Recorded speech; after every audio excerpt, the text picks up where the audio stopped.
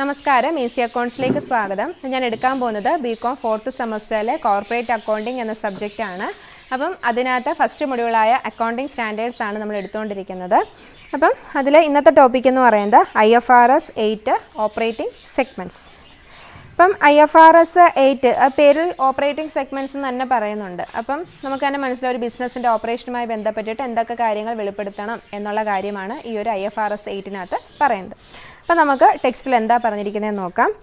I F R S eight requires and entity whose ഡെപ്റ്റ് or equity securities are publicly traded അപ്പം ഈ I F R S eight ആരാണ് follow ചെയ്യേണ്ടതെന്ന് ചോദിച്ചാൽ equity സെക്യൂരിറ്റീസും ഡെപ്റ്റ് securities അതായത് ഷെയർസും ഡിബഞ്ചേഴ്സും ഒക്കെ പബ്ലിക്കിന് ട്രേഡ് ചെയ്യുന്ന സ്ഥാപനങ്ങൾ ഫോളോ ചെയ്യേണ്ടുന്നതാണ് എന്ത്?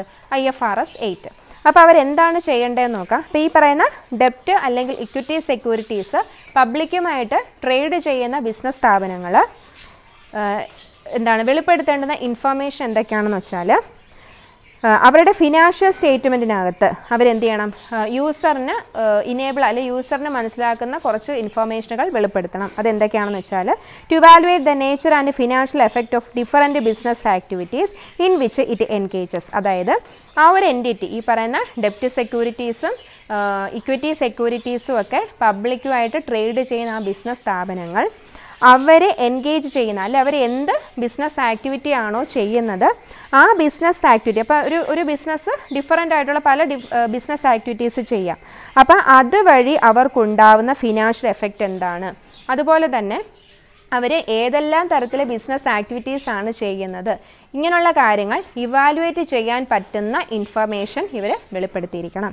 അതുപോലെ തന്നെ different economic environment which they operator അതുപോലെ തന്നെ ഈ ഒരു ഈ ഒരു എന്റിറ്റി ഏതെല്ലാം തരത്തിലുള്ള ബിസിനസ് എൻവയോൺമെന്റിലൂടെയാണ് അവർ പ്രവർത്തിക്കുന്നത് എന്നുള്ള കാര്യങ്ങളും ഒരു യൂസറിനെ സംബന്ധിച്ച് ആ ഒരു ഫിനാൻഷ്യൽ സ്റ്റേറ്റ്മെന്റിലൂടെ മനസ്സിലാക്കാൻ പറ്റുന്ന തരത്തിലുള്ള ഇൻഫർമേഷൻ ഈ എന്റിറ്റി പ്രൊവൈഡ് ചെയ്തിരിക്കണം.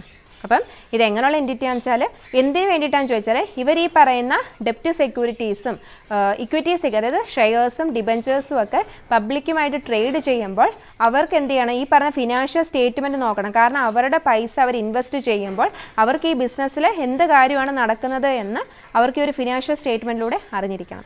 അതിന് വേണ്ടിയിട്ടാണ് ഈ ഒരു അക്കൗണ്ടിങ് സ്റ്റാൻഡേർഡിൽ ഇങ്ങനത്തെ കാര്യങ്ങൾ പറയുന്നത്. അപ്പോൾ നോക്കി it specifies how an entity should report information about its operating segments in annual financial statements and in interim financial statement ഇനി ഈ ഐ എഫ് ആർ എസ് എയ്റ്റിനകത്ത് പറയുന്നത് ഇപ്പോൾ നമ്മളെ സംബന്ധിച്ച് നമ്മൾ സാധാരണഗതിയിൽ ആനുവൽ സ്റ്റേറ്റ്മെന്റ്സുകളാണ് പ്രിപ്പയർ ചെയ്യുന്നത് അല്ലേ? ഒരു അക്കൗണ്ടിങ് പീരീഡിന്റെ എൻഡിലാണ് നമ്മൾ ഫിനാൻഷ്യൽ സ്റ്റേറ്റ്മെന്റ്സ് പ്രിപ്പയർ ചെയ്യുന്നത് കൂടാതെ ഇന്ററിം സ്റ്റേറ്റ്മെന്റ് ഇടക്കാല അതായത് ഇപ്പോൾ ആറ് മാസം അങ്ങനെയൊക്കെയുള്ള ഇടക്കാല സ്റ്റേറ്റ് ചില അത്യാവശ്യ ഘട്ടങ്ങളിലൊക്കെ നമ്മൾ എന്ത് ചെയ്യണം? ചില ഫിനാൻഷ്യൽ സ്റ്റേറ്റ്മെന്റ്സുകൾ പ്രിപ്പയർ ചെയ്യേണ്ട അവസരങ്ങൾ വരും. അങ്ങനെയുള്ള അവസരങ്ങളിലെല്ലാം തന്നെ നമ്മൾ എന്താണ് ഈ നമ്മുടെ ഓപ്പറേറ്റിംഗ് സെഗ്മെന്റ്സുമായി ബന്ധപ്പെട്ടിട്ടുള്ള എന്തൊക്കെ ഇൻഫർമേഷനുകളാണ് നമ്മൾ കൊടുക്കേണ്ടത്? അല്ലെങ്കിൽ എങ്ങനെയാണ് നമ്മൾ റിപ്പോർട്ടിനകത്ത് റിപ്പോർട്ടിനകത്ത് ഇൻഫർമേഷൻ പ്രൊവൈഡ് ചെയ്യേണ്ടത് തുടങ്ങിയ കാര്യമാണ് ഐ എഫ് ആർ എസ് എയ്റ്റിനകത്ത് സ്പെസിഫൈ ചെയ്തിരിക്കുന്നത്. It also set out requirements for related disclosure about product and services geographical areas and major customers മാത്രമല്ല അപ്പോൾ ഇവർ പ്രവർത്തിക്കുന്ന കാര്യങ്ങൾ മാത്രമല്ല കൂടാതെ ഇവരുടെ പ്രോഡക്റ്റിനെ പറ്റി അല്ലെങ്കിൽ ഇവർ പ്രൊവൈഡ് ചെയ്യുന്ന സർവീസസുമായി ബന്ധപ്പെട്ടിട്ടുള്ള കാര്യങ്ങൾ.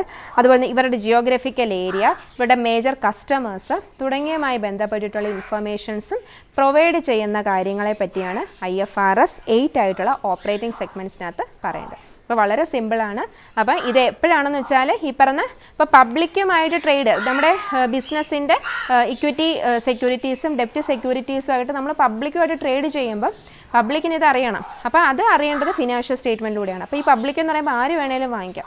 അപ്പോൾ അവർ വാങ്ങിക്കണമെന്നുണ്ടെങ്കിൽ നമ്മുടെ ബിസിനസ് നടക്കുന്ന എക്സാക്റ്റ് കാര്യം എന്താണ് എന്ന് ഫിനാൻഷ്യൽ സ്റ്റേറ്റ്മെന്റ് വഴി നമ്മൾ എന്ത് ചെയ്യണം? അവരെ അറിയിച്ചിരിക്കണം.